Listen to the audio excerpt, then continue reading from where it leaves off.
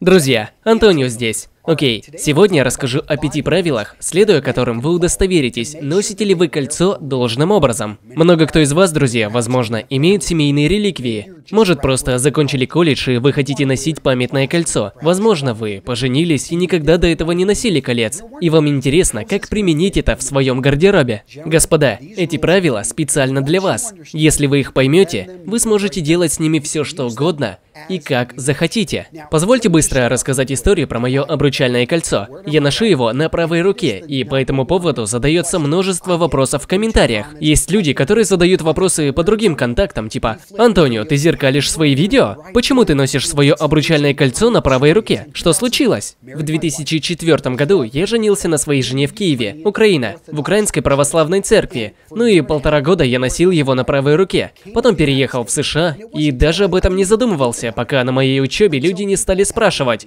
«Антонио, почему ты так носишь? Почему? Зачем?» И это довольно забавно, интересный предмет для начала разговора. Господа, используйте эти пять правил. Так вы сможете показать некое сообщение. Так будете наслаждаться ношением вашего кольца. Окей? Итак, первое правило. Поймите, что любое кольцо, которое вы носите, имеет определенный смысл, будь то помолвка, свадьба, знак организации или богатство. И да, исторически, кольцо носилось, чтобы показать благосостоятельность и вашу позицию в обществе. Поймите, что каждое кольцо, которое вы решаете надеть на вашу руку, а это видное место, люди увидят и сделают суждение. Если вы проводите собеседование и любите носить много колец, вы выглядите как крестный отец мафиози.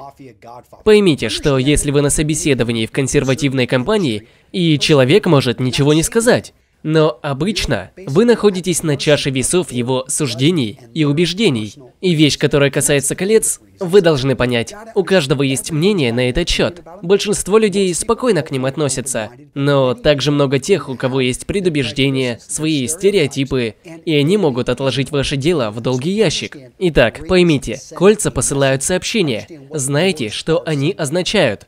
Второй пункт. Обретите уверенность. Носите с уверенностью все кольца. Там, возможно, изображен фамильный герб. Знайте историю, поймите, как вы можете носить его эффективно, и делайте это. Семейный герб традиционно носят на указательном пальце. Вы можете носить на безымянном пальце, если не женаты, или на правой руке. И сегодня я не буду говорить про каждую руку. Друзья, в статье к видео я рассматриваю больше конкретных деталей. Переходите по ссылке. Но, друзья, запомните, носите с уверенностью. Вы можете спросить, Антонио, как мне это сделать? Я никогда не носил кольца раньше. Я в консервативной части мира. Окей, начни носить наедине с собой, затем в окружении семьи и друзей. Может, это кольцо от вуза, которое вы так и не начали носить после окончания, скажем, Анаполиса или морской академии. Итак, начните носить в кругу друзей, в окружении, которое это примет. И тогда носите везде. Главное в ношении кольца, особенно обручального, это уверенность. И тогда это может стать началом разговора. Теперь перейдем к третьему правилу. Сохраняйте пропорцию. Обратите внимание, если у вас большие руки, вы можете носить крупные кольца. Маленькие кольца будут смотреться немного не к месту, но если у вас небольшие руки, вам нужно избегать больших размеров. Особенно, если оно только одно или это выпускное кольцо, у которых есть тенденция быть немного больше. Может быть, вы член масонской ложи или что-то в этом духе. Просто убедитесь, что кольцо находится в правильной пропорции к вашей кисти. Маленькие руки – маленькие кольца, крупные руки – большие кольца. Предельно просто. Теперь переходим к балансу. Баланс отличается от пропорций. Баланс в том, что вы носите вещи и украшения в правильном соотношении. Итак, если у вас одно кольцо, тогда вам нужно надеть, например, часы на противоположную сторону. Если вы хотите надеть еще кольцо, я могу надеть кольцо на эту руку, но лучше на противоположную. Тогда на вас будут два кольца здесь, а на другой часы. Вот чего нужно избегать. Часы, пять колец и все на одной руке, а вторая совершенно свободная. Вот что касается баланса. Также вам могут помочь браслеты. Просто поймите, что все вместе должно взаимодействовать, что подводит к пятому правилу. Сочетайте металлы. Вам не нужно в точности соотносить их. Некоторые парни покупают кольца, которые объединяют и золото, и серебро. Что касается меня, я люблю серебро. В основном я ношу холодные тона. Даже если посмотреть на мою руку, я вижу свои синие вены. Это есть индикатор. Также меня всегда инстинктивно тянуло к серебру, платине, всему подобному. Итак, весь металл на мне одного оттенка. Если вы любите золото и теплые тона, тогда вперед за золотом. А их смешивание – дело лично каждого. Просто поймите, что это становится тяжелее для восприятия. Нужно понимать, зачем вы это делаете. Я люблю простоту, но если вы хотите нарушить это правило, ваше дело. Итак, мы разобрали пять правил. И снова, я рассказываю больше деталей в статье к этому видео. Теперь позвольте мне рассказать о символизме и значении для каждого пальца. Также у меня есть другое видео, записанное около четырех лет назад. Рассказал там много деталей. Однако быстро по ним пробежимся. Большой палец. Традиционно большой палец символизирует ваш характер. Если у вас прямой большой палец, прямой характер.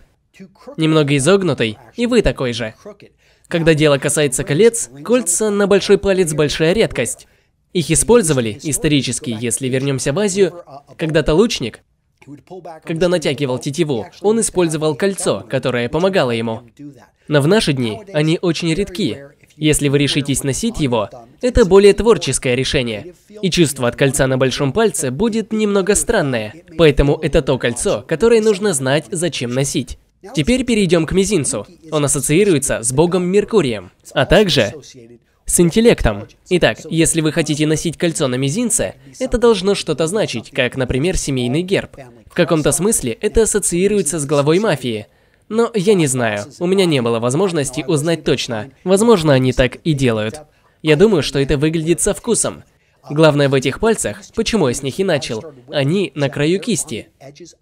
Все, что вы здесь носите, легче увидеть, следовательно, и выглядит немного ярче.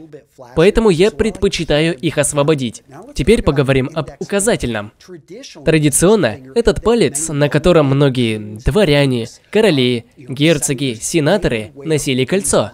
Это палец силы и ассоциируется с богом Юпитером, а именно королем богов. Я считаю, если вы будете носить выпускное кольцо или кольцо с фамильным гербом, это правильное решение. Вы можете надеть кольцо на противоположную руку для баланса, чтобы было больше места между ними. Теперь про средний палец. Он ассоциируется с Сатурном, который означает баланс. А теперь безымянный палец. Традиционно безымянный палец в западном мире ассоциируется с романтизмом Луны, а также ассоциируется с креативностью.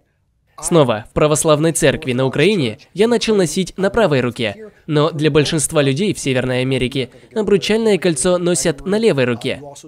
Также можете увидеть венчальные кольца.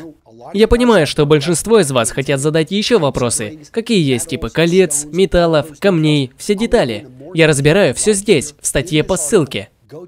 И, друзья, дайте знать, что вы думаете в комментариях.